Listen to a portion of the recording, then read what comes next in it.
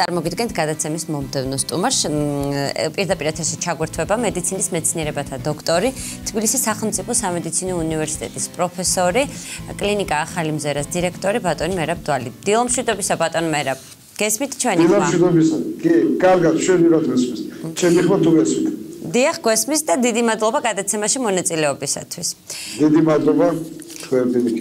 ძალიან საინტერესო ძალიან საინტერესო თემაზე უნდა ვისაუბროთ გადაცემის დასაწყისში აღნიშნე და კიდევ ერთხელ გავიმეორებ ჩვენი ტელემაყურებლებისთვის რომ 10 ნოემბერი გახლავთ კერატოკონუსის საერთაშორისო დღე. საინტერესოა რას ნიშნავს? ძალიან მარტივად დავსვამ პირველ შეკითხვას რა რას ნიშნავს კერატოკონუსი? რა დაავადებაა ეს? უპირველეს ყოვლისა დიდი მადლობა რომ თქვენ გაგახსნათ ეს დღე.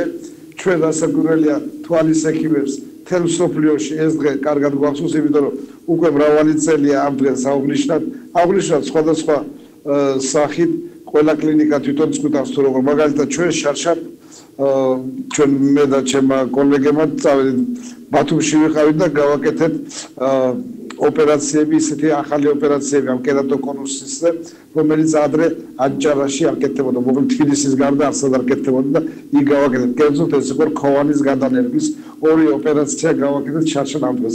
სამწუხაროდ ვერ გავდივართ პორის შეფერდით აჭარის მოსახლეობას კიდე ჩავიდოდი და კიდე გავაკეთეთ, მაგრამ ცოტა მოგეხსენება რა სიტუაციაა. ამიტომ ჩვენ სხვანაირად მიმართა დღეს გვექნება ჩვენ ღია კარის დღე ახალგაზრდებისთვის, რათა გამოვავლინოთ და სკრინინგი ჩაუტაროთ კერატოკონუსიან დაავადებს. რატო ახალგაზრდებს? იმიტომ რომ ეს არის ახალგაზრდების დაავადება. დიახ, დაახლოებით 16-17 წლიდან ახალგაზრდებში და 25-30 წლამდე აი ამ პერიოდში ხდება ყველაზე ხშირად კერატოკონუსი. კერატოკონუსი ეს არის რქოვანა გარსის, ეს არის ჩვენი გამჭვირვალე ცინა თვალის ცინა წინდებარე გარსი. აი მის გამოზნექა, ფორმის შეცვლა, ეს ხდება დისტროფიული დისტროფიული სრულობების გამო ქოვანას ქოვანას დიფთერ რომელსაც სტრომა ეწოდება. ამიტომ ეს გამოიზნიქება ქოვანა წინ და შესაბამისად ხედველობა უალესდება ახალგაზრდა ასაკში და ადამიანი სჩივილები ახალგაზრდა უზრუნველსად რამდენიმე თვეში ჩემი ხედველობა გაუარესდა.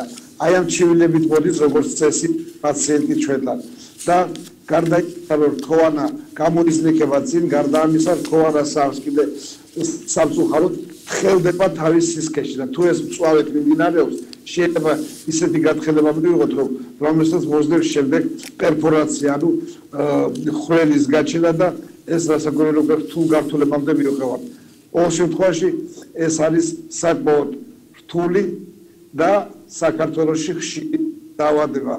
დიახ, აი ბატონო მერაბ, სწორედ ამის თაობაზე მინდოდა მეკითხა, რამდენად ხშირია საქართველოსში ეს დაავადება, იმიტომ რომ კერატოკონუსის შესახებ საზოგადოებაში საკმაოდ მწირი ინფორმაცია არსებობს. ამ დაავადების შესახებ შეიძლება ბევრმა არც იცის. რამდენად ხშირია დაავა ეს დაავადება საქართველოსში და რა არის ამის გამომწვევი მიზეზი თუ შეგვიძლია ამაზე საუბარი? იცით რა, კი, ერთ წინასიტყვაობის სახით გეტყვით, რომ მწირი ინფორმაცია ექიმებს შორისაც იყო რამ 1 2 3 ათეული წლის წინ იმიტომ რომ კერატოკონუსი რასაკვირველია იგივე თვალის ექიმებმა იცოდნენ რომ არსებობს მაგრამ მიგვაშთა ყველას მეც ახალგაზრდობაში რომ ეს არის საკმაოდ იშვიათი დაავადება მაგრამ აღმოჩნდა რომ არც ისე იშვიათი ყოფილა. მით უმეტეს აი სუბტროპიკულ განეთში სუბტროპიკულ ტროპიკულ განეთში სადაც ჩვენ საქართველოს ყოფილა კერძო ეს ხმელთაშუა ზღვის რეგიონი ეკით უფრო აღმოსავლეთით მე ვიტყოდი ეგვიპტის ქვეყნებს არაბული ქვეყნები ნუ დასავლეთისკენ ეს არის მექსიკა და ლათინური ამერიკა. ძალიან ხშირია. ყოველ შემთხვევაში 1000 მოსახლეზე 2-3 შემთხვევა. ეს საკმაოდ დიდია და აი ესეთ რეგიონში როგორც მაგალითად საქართველოსში არის ზღვის ზღვისპირა რეგიონი ნუ თქვათ აჭარის რეგიონი ვახედულობაში თქვა სიტყვაზე იქ კიდევ უფრო ხშირია. რა განაპირობებს ხო ეს აქ არის ზუსტად რასაკვირველი ეს არ ვიცით მაგრამ არის ესეთი მოსაზრება რომ აქ არის გენეტიკური გენეტიკური ფაქტორს აქვს ძალიან დიდი მნიშვნელობა და გარდა ამისა მექანიკურ ფაქტორს და ბოლო 10 წელია მექანიკურ ფაქტორს ანიჭებენ ნიშნულობას, დიდ ნიშნულობას. რა რას გულისხმობ მექანიკურ ფაქტორში? თურმე აი ეს ესეთი ჩვევა დავარქვათ ამას რომ თვალებს ისრისავს ახალგაზრდა ადამიანი. ეს არის ერთ-ერთი როგორც ბიზგი რომ ის კერატოკონუსი რომელიც მის გენეტიკაში არის ჩადებული, მაგრამ კლინიკურად არ არის გამოხატული. აი ამან მისეს ბიზგი რომ გაჩნდეს უკვე კლინიკურად შესაძლებელი კერატოკონუსი. კერძოდ პაციენტს უჩნდება ის ჩივილები, რომ ის ვერ ხედავს კარგად შორ მანძილზე. ესე იგი, როგორც ვითომ, ესე ვიტყოდი, ვითომ მას აქვს ახლო მხედველობა. და ასტიგმატიზმი, რა ვიცი, ეს ეს სიტყვები მე მგონი მეტნაკლებად უფრო ცნობილია ჩვენი მაყურებლისთვის. ახლო ხედულობა და ასტიგმატიზმი შორ მანძილზე ის ხედავს სულად. და ეს ძალიან გვეხმარება კიდევაც ზოგ შემთხვევაში, როცა არა გვაქვს სათანადო ხელსაწყოები, თუ პაციენტი იძახის მაგალითად 20, 22, 25 წლის პაციენტი იძახის, რომ რამოდენიმე თვე არის შორს ხედულობა გამიჭირდა. ვეღარ ხედავ კარგად შორ მანძილზე, იგივე ტელევიზორთან თქვა და ან საჭესთან. ეს იმწუშვე ჩვენ უნდა გვაფიქრებინებს რომ ხომ არ არის აქ კერატოკონუსი იმიტომ რომ ასაკობრივ ზღვარს დიდი მნიშვნელობა აქვს და რაც საინტერესოა დაავადებაში რომ ეს პროგრესირება თუ იწყება როგორც გითხარი 17-18 წლის ასაკში და მე უხშირ შემთხვევაში ეს პროგრესირება ჩერდება 35-40 წლის ასაკში თავისი ესე იგი ქოვანაში ხდება უფრო მკრივი გადაბმა ამ ქსოვილების და ეს თვითონ აჩენს. იგი ასაკი თუ შეიძლება ესე ითქვას, ესა დადებითად დადებითად მოქმედებს კერატოკონუსის განვითარებას. ის აჩერებს ამ პროცესს, მაგრამ ну 40-მდე კიდევ და მიაღწევს რომ ეთქვარი 27-25 წლის ადამიანმა ისე რომ ამ დროის მონაკვეთში მას მნიშვნელოვნად არ დაეკარგოს ხედულობის სიმახვილი. და აი ამაზეა ჩვენი სწორედ ნაადრევი დიაგნოსტიკა მიმართული. აი ბატონო მე ძირითადად დიახ დიაგნოსტიკის რომელი მეთოდები გამოიყენება ამ დროს? ძალიან ხო დიდი მადლობა ამ შეკითხვის იმიტომ რომ რატო ვიყავით ჩვენ აი ესეთი უმწეოები რომ თუ შეიძლება ითქვას 30 წლის რომ გვეგონა რომ კერატოკონუს იშვიათია ვერ დიაგნოზს ვერ სვავდით ისე სათანადო როგორც საჭიროა მით უმეტეს ნაადრევ სტადიებზე. იმიტომ რომ არ ქონდა ისეთი ხელსაწყოები რომელიც დღეს არსებობს. ეს სწორედ აი თქვენ ალბათ და ჩვენს მსმენელებს გაგონილი აქვს ექსიმერული ლაზერი რომელიც ახლო ხედულების კორექციისათვის არის შექმნილი. აი სწორედ ხშირად ექიმებს ეშლებოდა ახლო ხედულობა და კერატოკონუსი რომელზეც ეჭვსაც არ ბადებდა არ ბადებდა რომ აქ არ არის ეკერატოკონუსი ვითომ მაგრამ სინამდვილეში ყოფილა ფარული კერატოკონუსი, რომელიც ლაზერული ოპერაციის შემდეგ უფრო მკვეთრად ხდებოდა ნათელი, რომ ეს არის კერატოკონუსი და პაციენტი უკმაყოფილება თუ ხედულობა უარესდებოდა.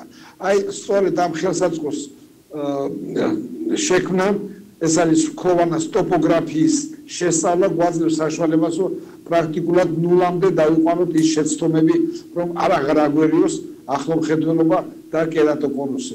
და ეს ხელსაწყო შექმნილია დაახლოებით 20 წლის წინ და აი 20 წელია უკვე მოიწყვე უფრო გამართულები და ხნეთ ვაკეთებთ ამ ოპერაციას, ლაზერულ ოპერაციას, ისე რომ შეცდომა პრაქტიკულად აღარ მოხდეს.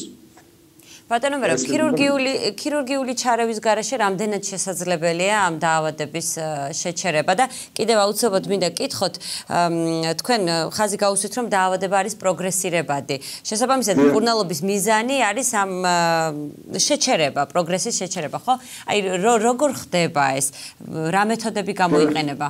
იცით რა შესაძლებელი რა საგვირელია ყველა დაავადებაზე ალბათ ყველას გაუგერო რაც უფრო ადრე მიმართავ ექიმს მით უფრო კარგ შედეგს მიიღებ დაავადების კონტროლში. აქაც ზუსტად იგივეა.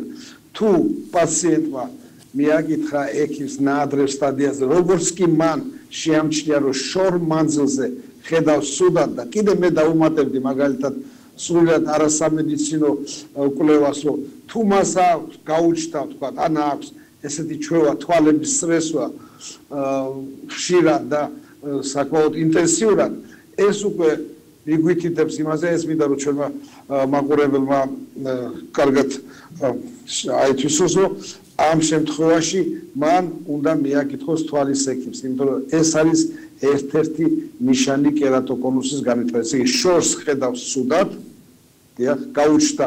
არა თქვა სკოლის ასაკში არამედ სკოლის დამთავრების შემდეგ დაახლოებით 17-18 წლის მერე მანამდე ხედავდა. კარგად კუცებ აღმოჩნდა ნუ რა რამდენიმე თვეში აღმოჩნდა ის რომ ის ხედავს სუდად შორმანძილზე და მეორე კიდე თვალების სრესვა უნდა ამის სურვილი აქვს და ისრისავს კიდევაც თვალებს აი ეს ორი ფაქტორი სრულიად ყოველგვარი ექიმის დიაგნოსტიკის გარეშე უნდა გვაძლევს იმის საშუალებას, რომ მეტნაკლებად სწორი დიაგნოზი დავსვათ კერატოკონუსის. და აქედან გამომდინარე, აი კიდევ თქვენ მეორე შეკითხვასაც გავცე პასუხს, რომ დიაგ კურნალობაც სწორედ მდგომარეობს იმაში, რომ აღარ დაველოდოთ სანამ პაციენტი მიაღწევს 40 წელს და თავისით გაჩერდება. იმიტომ რომ ამასობაში შეიძლება ნიშნულად გაუარესდეს ხედველობა, ნიშნულად ქოვანა წამოიწოს წინ და ნიშნულად გათხედეს ქოვანა, რაც პრობლემატურია. ამიტომ არის მშვენიერი მეთოდი შემოღებული უკვე დაახლოებით 10 წელი ეს მეთოდი არსებობს და ჩვენს კლინიკაშიც გამოიყენება წარმატებით, ეგრეთ წოდებული ультраისფერის სხივები დასხივება რქოვანა გარსის და თანხმარობთ რიბოფლავინის, ანუ ვიტამინ B2-სთან ერთად. ესე იგი, ვიტამინი B2 და დასხივება ერთად იძლევა აი ამ რქოვანის ქსოვილების შორის გადაბმის უფრო გამკრუებას. და მკრივი რქონა რქოვანი უკვე ვეღარ გამოიწევა ესე იოლად წინ როგორც ეს ხდება ჩვეულებრივ პირობებში. ეს არის კურნალობის ერთ-ერთი საშუალება რომ პროგრესირება შევაჩეროთ. მაგრამ ეს მხოლოდ და მხოლოდ კარგი და შედეგიანია თუ ნაადრევ სტადიაზე მოხდა ჩარევა და გამოვლენა ერთ კერატოკონუსი და მეორეც ერთი აი ამ ეს ულტრა ჩარევა ულტრაისფერის სხივების დასხივება რქოვანაზე. სამწუხაროდ უფრო შორ შორ როგორც ხშირად ხდება ხოლმე პაციენტები ესე პირველ სტადიაზე იშვიათად მოდიან სამწუხაროდ და უკვე როდესაც გაუჭირდება ხედველობა შორ მანძილზე მნიშვნელოვნად მაშინ მიაკითხავენ ექიმს. და ჩვენ აი სწორედ მეკითხეთ რომ 10 ნოემბერს ჩვენი თავარი მისია, ასე ის სადაც ყველა დროსაც ყველა დღეებში წესი არის, მაგრამ 10-ში ჩვენ მაინც უფრო მიზან მიმართულად ვაწარმოებთ ამ უფასო კვლევებს ახალგაზრდა ასაკში პაციენტების რომ გამოავლინოთ კერატოკონუსის ნაადრევი. დიახ. დიახ. ბატონო მერაბ, აი თქვენ ახსენეთ რომ რქოვანა ზიანდება და გარეთ გამოდის. საინტერესოა შეუიარაღებელი თვალით, რამდენად შესამჩნევია ეს რქოვანას წინ წამოწევა, ანუ არა ექიმა, არამედ ჩვეულებრივ ადამიანისთვისაც თვალი შესაძლოა. არა, არა მგონია, არა, არა მგონია რომ ეს უნდა იყოს ძალიან უკვე წვავე უნდა იყოს რა ქვია პროცესი წვავე პროცესი რომ ისე გამოიზნიქოს და მეორე თვალთან შეადოს. არა არა მგონია რომ ეს მიზანშეწონილი იყოს რომ თქვა შობელმა ან მეგობარმა უყუროს თვალებში და გამოავლინოს კერატოკონუსის არსებობა. უფრო აი ამ ჩვევებს უნდა მიაქციოს ყურადღება.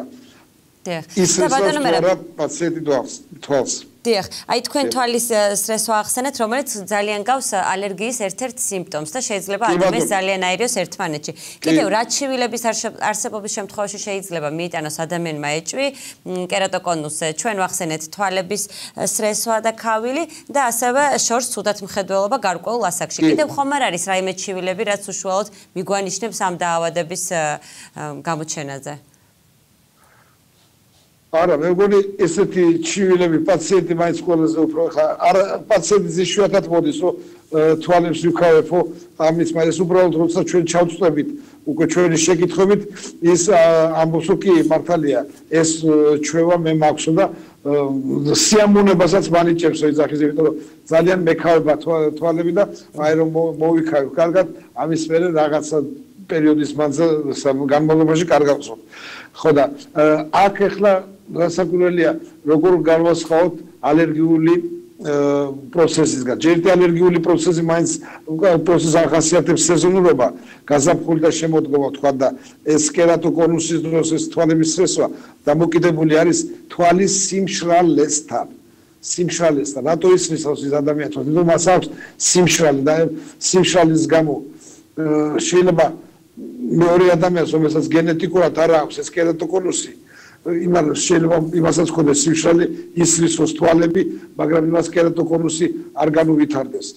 სამწუხაროდ მაგაშიც და მაგაშა თელი საქმე რომ გენეტიკურად შეიძლება კონდეს თუ ჩვენ დროულად პაციენტს აუგზალა, დიახ, აუგზალა თვალების სტრესს და მის კომპენსა ამის კომპენსაციისთვის დაუნიშნავთ დამატენიანებელ წვეთებს ხშირად 6-ჯერ 7-ჯერ დღეში ზოგჯერ პაციენტებს კი ვიწვეთებ ერთხელ ორჯერ დღეში ორჯერ დღეში შეწვეთებ არაფრის მომცემი არ არის მით უმეტეს დღეს ამ ვითარებაში რაც ჩვენ რა გვაქვს ძალიან დიდი რაოდენობით ყავს მშრალი თვალის სინდრომიანი პაციენტები პრაქტიკულად სულ ყველა ასაკში პაციენტს აქვს გამოშვა სიმშრალე თვალის სიმშრალე და აი ეს წვეთები ძალიან მნიშვნელოვანია. გარდა ამისა, ჩვენ დიდ მნიშვნელობას ვანიჭებთ საცრემლე საცრემლე მილაკებში ეგრეთ წოდებული საცობების ჩასვას, რომელიც აღარ იძლევა იმის საშუალებას, რომ ცრემლი გავიდეს სხვირში და რჩება თვალის ზედაპირზე. ამით ამითი ჩვენ კომპენსაციას უწევთ იმ ცრემლის აორთქლებას, რომელიც ხშირად ხდება ხოლმე თუ კიდაც ამ გაჯეტებთან მუშაობის დროს და ტელევიზორთან და ასე შემდეგ. აი ეს მინდოდა მეთქვა ჩვენი მოსახლეობისთვის, რომ რეაქცია უყურადღება, რომ თვალი არ იყოს გამომშრალი. დიახ და პრინციპში ბოლო კითხვა მე მინდოდა სწორედ ეს დამესვარო რამდენად შესაძლებელია პრევენცია კერატოკონუსის და რჩევებს მისცემთ ჩვენს მაყურებელს და გარკვეულწილად ჩვენ ეს რჩევები უკვე მივიღეთ როგორც აღმოჩნდა თვალი უნდა იყოს მუდმივად დატენიანებული. დიახ დატენიანებული თვალი ერთი ესე იგი იცით რომ სადამდე მივიდო უკვე აი ბოლო ხანებში ჩვენი მეცნიერები რომ გარდა იმისა რომ აი ამ თვალების სესოს აქცევენ ყურადღებას თანაც ეკითხებიან პაციენტს, აბა როგორ მდგომარეობაში, როგორ პოზაში გძინავს? ხო არ არის კონტაქტი თვალების, თქვათ ბალიშთან უშუალო კონტაქტი და მთელი ღამის გამო ამასაც აქცევენ ყურადღებას, რომ ყოველგვარი ზეწოლა თვალის ზეწაბიზე თუ შენ გაქვს მიდრეკილება კერატოკონუსისკენ, აუცილებლად გამოავლეს უკვე კლინიკურად. ამ დაავადებას. აი ეს აქამდე არის და უკვე ეს ოფიციალურად ამას ხას უსვამენ, რომ აი პოზა როგორ შეძინავს ახალგაზრდას, ამასაც უნდა დააკვირდეს ექიმი და მის შესაბამისი რჩევები პაციენტს. და ნუ გენეტიკური გენეტიკური კვლევები სიმართლე გითხრათ სადღეისოდ მხოლოდ საწყის სტადიაზეა. ჯერ ვერ ვიტყვით რომ ის დამტკიცებულია კვლევების დროს ჩვენ ჯერთი ძალიან ძვირად გირებულია ეს კვლევები. და მეორეც ერთი რა ვიცი სადღეისოდ არ არის ყველასთვის ეს ხელმისაწვდომი უფრო კლევის ეტაპზეა და ნუ მომავალში ალბათ იქნება რომ გენეტიკურად მიდრეკილება აქვს თორა კერატოკონუსკენ უკვე წინასწარ გეცოდინება დიახ. ბატონო მე ძალიან დიდი მადლობა, უღრმესი მადლობა გადაცემის მონაწილეობისათვის. დიდი მადლობა თქვენ, დიდი მადლობა. ჩვენი სტუმარი გახდათ მედიცინის მეცნიერებათა დოქტორი თბილისის სახელმწიფო სამედიცინო უნივერსიტეტის პროფესორი, კლინიკა ახალი მზერას დირექტორი ბატონი მერაბ დვალი.